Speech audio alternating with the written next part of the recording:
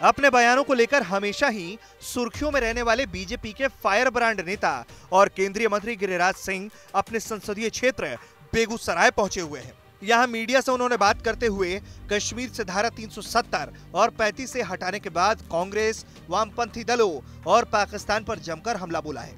उन्होंने कहा है कि कांग्रेस पाकिस्तान के इशारे पर बोलती है या पाकिस्तान कांग्रेस की बात बोलता है।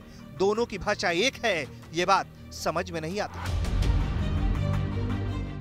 कि बरसों से मांग थी कि एक देश, एक कानून। तो मैं समझता हूँ कि 370 पैंतीस से हटने के बाद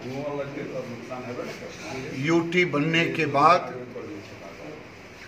अब, एक देश, एक कानून बन गया है।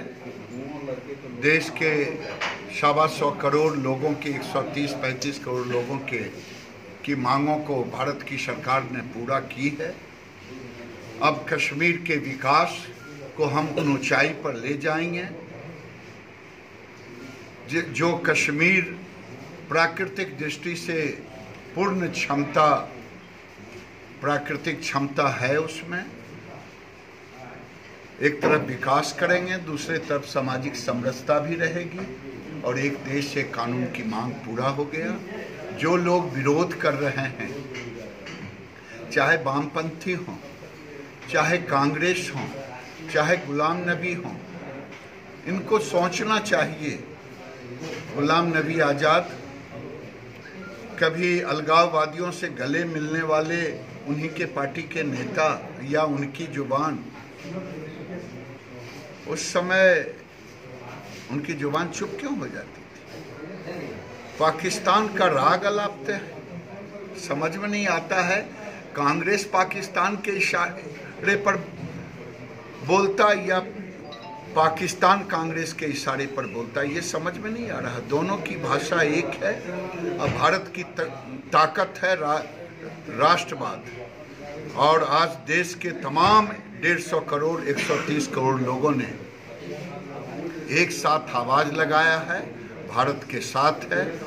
भारत की सरकार ने 370 को हटाया 35 को हटाया एक राष्ट्र एक कानून पीओके और अक्साई चीन पर सर भारत सरकार का क्या रुख रहेगा? हाँ?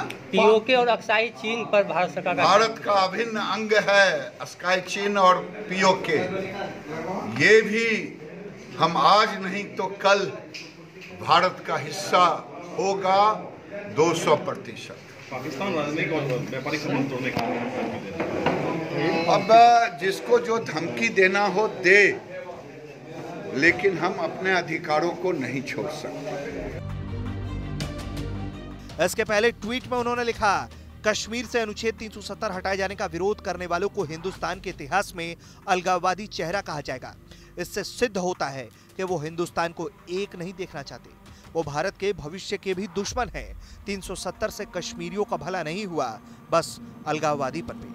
आपको बता दें कि संसद ने मंगलवार को जम्मू कश्मीर को विशेष दर्जा संबंधी अनुच्छेद 370 के अधिकतर प्रावधानों को समाप्त करने के प्रस्ताव संबंधी संकल्प को मंजूरी दे दी थी।